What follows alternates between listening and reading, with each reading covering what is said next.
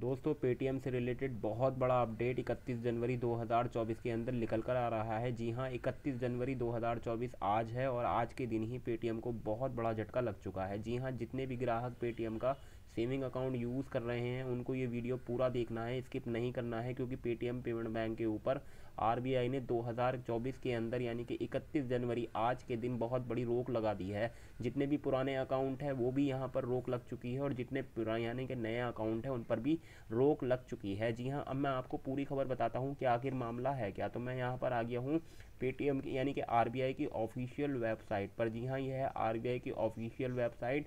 और यहाँ पर ही आखिरकार एक यहाँ पर प्रेस रिलीज़ हुआ है 31 जनवरी 2024 के अंदर, जहाँ जिसने तहलका मचा दिया है यहाँ पर सभी ग्राहकों के लिए। जी हाँ यहाँ पर आप पढ़ लीजिए, भारतीय रिज़र्व बैंक ने बैंकिंग अधिनियम यानी कि उन्नीस सौ उनचास की धारा 35 ए के तहत अपनी शक्तियों का प्रयोग करते हुए पेटीएम पेमेंट बैंक लिमिटेड यानी कि पी पी बी एल या बैंक को नए ग्राहक को शामिल करने से रोकने का निर्देश दिया था। तत्काल प्रभाव इस पर हो चुका है। व्यापक सिस्टम ऑडिट रिपोर्ट और बाहरी ऑडिटरों के बाद की अनुपालन, यानी कि अनुपालन सत्यापन सत्यापन रिपोर्ट ने बैंक में यानी कि लगातार गैर अनुपालन और निरंतर सामग्री, पर्यावेशी चिंताओं का खुलासा किया, जिससे आगे की पर्यवेशी कार्यवाही का आवश्यकता हुई है। जी हाँ यहाँ पर जो रोक लगाई है, यानी कि जो एक्शन लिया गया है, इसके यहाँ पर इन्होंने यहाँ पर खुलासा किया है कि रोक क्यों लगाई गई है। और यहाँ पर मैं आपको पढ़ के बता रहा हूँ, पूरी रिपोर्ट पढ़ के बता रहा हूँ।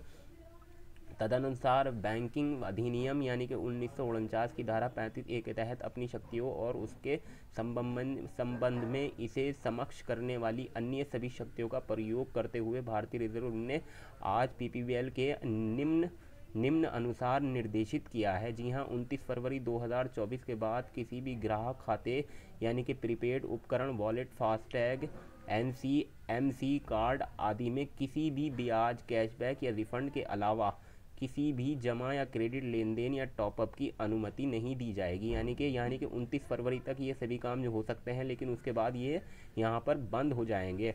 जी, जिस, जिसे कभी भी क्रेडिट किया जा सकता है।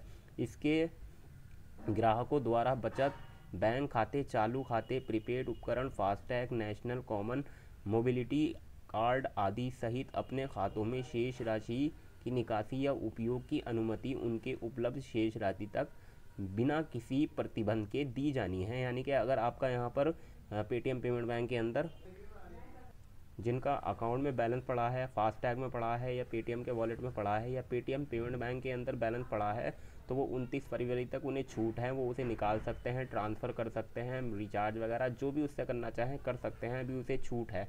उनतीस फरवरी के बाद वो बैलेंस बंद होगा, ख़त्म होगा, उड़ा दिया जाएगा या ख़त्म हो जाएगा, उसके ऊपर डेडलाइन आगे आएगी। अभी यहाँ पर उनतीस फरवरी तक आपको यहाँ पर जितना भी आपका शेष बैलेंस है उसे निकाल लेना है। मैं नीचे आपको पढ़ के दिखाता हूँ।